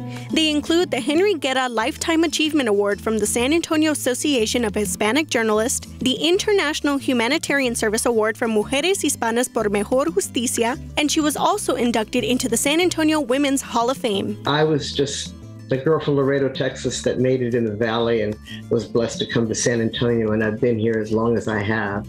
And so for that, I am proud. Jessie's journey isn't over yet either. She'll continue telling stories that matter to you most, impacting the people right here in San Antonio and inspiring more young Latinas to follow in her footsteps. Roslyn Jimenez, KSAT 12 News. And tomorrow on GMSA, Jessie will tell us what it was like for her when she first started reporting and the advice she has for young women wanting to start a career in journalism. Oh, we love her dearly. Yes. And for now, let's go ahead and check in with Stephen Cavazos. I was looking at the roadways, uh, still problems there. Yeah, you know, and we're giving you a different shot here at 1604 at Bandera. You can see it is pretty busy right now. Let's go ahead and jump to TransGuide here, show you that it is shaping up to be, again, one of those busy Monday mornings. We do have a lot of things to talk about here. Uh, this is possibly because of some construction that's happening off 1604 eastbound near La Cantera, so just use some caution out there. But the big thing is we want to bring you to this crash here that we've been talking about all morning long, 35 at O'Connor, where three lanes still remain blocked out there. Uh, now, again, that crash looks like it is slowly clearing out, but traffic is still going to be an issue at this hour. Right now, we can see that it is moving at six miles per hour in those northbound lanes of 35 right at O'Connor and seeing a little bit of a slowdown there and the southbound lanes as well. So we'll check out, check that out and find out if that's going to be impacting that drive time. But it looks like it is from this shot right now from the maps. Traffic is really slow or backing up there because of that crash. So three lanes are still blocked out there. Uh, but overall around town, the loop 1604, 410, we're not seeing any other big delays. The big thing is going to be this crash here again off 35 at O'Connor where three lanes are blocked. Again, traffic moving, but pretty slow. Just take it easy and move over and slow down for those first responders, guys. Thank The you, best. Stephen. Yeah. One more comment on Jessie. The nicest person. Yeah. she Just as sweet as can be. Well, that's what I love about almost all the folks who we work Well, with. yeah. They're exactly the same in Well, person as they are that you uh, see on there at home. TV. Yeah. But we miss them too because I you know. know we're Yeah. r- r- working remotely and everything. I haven't seen Jessie in the newsroom in a month of Sundays. it Since seems it's like been a yeah. while. All Since retired. Paul retired. Yeah, she was here for that. She was here for that. So, anyway, all right. Here's what. I love. oh, this was just a great picture. I love it. It looks so tranquil, and no mosquitoes. I don't. Why do I think mosquitoes in that picture? Maybe the little lights at Maybe. the bottom. Maybe. I don't Uh, know. the, is there? Which Did I see water? Maybe. Which, yeah, reminds me, if you did get some rain over the weekend, make sure you uh, just look around any, you know, the little pots underneath or the, the bowls underneath the uh, planters, anything like that. Any standing water, get rid of that so we don't have any mosquitoes. Nice start this morning, a little bit of uh, haze, some clouds off to the east. And uh, we did have, as this loops back on through, a couple of leftover showers and thunderstorms late, late uh, yesterday. And nothing is showing up as of right now, but we will see a few more later on today. All right, so uh, Ida is a tropical storm, uh, 60 mile per hour winds right now. It made landfall, 150 mile per hour winds, and it was a lot stronger than Katrina 16 years ago, but it was much more compact. Obviously, it has done a lot of damage, and it's going to continue to work its way up to the north, and it will continue to be a big, big rain producer. So, just throughout the rest of the week, it's going to be affecting again the mid South, Tennessee, Ohio valleys, and then going up into the uh, New England states. Even forecast to dump a lot of rain around uh, New York, uh, up in toward D.C., Boston area. So, if you got any uh, plans going up that direction, you definitely want to uh, check ahead with that. For us, now this is that computer model that kind of broad brushes things, but there will be a few showers and thunderstorms around the area. The best chance to see rain is going to be out in portions of the hill country. Um, and again, we're only talking 30, 40% chance of rain today. And if you had to point to one direction in the map, it'd be off to the northwest today. One or two possibly tomorrow. Same thing Wednesday and Thursday. Rain chances, you can't completely rule it out, but they're almost nil going into the rest of the week, and things will definitely heat up. And then a couple of them, a couple of more of them uh, coming in here toward the weekend. But again, if you have outdoor plans for the weekend, long Labor Day weekend, wouldn't change them at all right now. 88 degrees today at noon. Couple of showers, couple of thunderstorms going to try and develop, especially out to the uh, west and northwest, and a few more later on this afternoon. 94 high temperature today, which is the average, the normal high temperature. Tomorrow. Again, a shower or two and uh, eh, possible. Then temperatures will be actually maybe a little bit uh, warmer than that perhaps tomorrow, and obviously dependent upon cloud cover, but we're going to be in the mid to upper 90s throughout the rest of the week. So it is going to be a hot start to September, and Labor Day weekend is definitely going to be on the hot side around here. What I'm looking forward to in the next month or so is Mike start talking about those cold fronts making their way into the northern tier of the country as we start to see the slow changeover to fall. Usually it's October around here, but in the past couple of years, we've had some. I remember we had a cold front a couple of years ago that came through in July, but uh, right. even the past couple of years, that. we had, you know, September. Yeah. And that Little, little signs. Yeah. Maybe not the one that has the good smell to it, but, you know, Just you get those nice. Anything will be nice. Yeah. Yeah. Thank you, Mike. 651, about 76 degrees. And important news if you own a home tomorrow on GMSA, what you need to know before you refinance and some things you can do that could make a big difference. Outside with live cam, we're going to check back in with Steve and get a traffic update. After this, you're watching Good Morning San Antonio. Good morning, everyone. Happy Monday. And boy, it has been a Monday on the roads here at 35 at O'Connor. You can see flashing lights out there shows that we do have first responders working to clear a crash scene that's been out there for a little while now, and we're watching it very closely. You can see from this shot at TransGuide 3 lanes still remain blocked out there. Looks like it's getting cleared out, but as we take a look at the map here, it does show traffic moving at 4 miles per hour. And as we take a look at, as we continue to zoom out, it is uh, showing some big delays there on 35 northbound. As you can see here on the Loop 1604, also seeing a slowdown there as well, but we're watching the roads very closely right now. Inbound times are good, Mike, right now. Thanks, sir. Beautiful start. Grab some sunglasses this morning. And uh, as you can see, we've got some clear skies out there right now. Temperature stands at 75 degrees. The usual humidity that you would expect. 88 at noon, 94 for high temperature. A couple of scattered showers and thunderstorms. Most of those, or the better chance, is going to be out in the hill country. And then the rest of the week, it's going to be on the hot side as we ring in September. All right, an update on Ida and the situation in Afghanistan coming up next on Good Morning America. Have a great day, and we'll see you back here at 9. Bye, guys.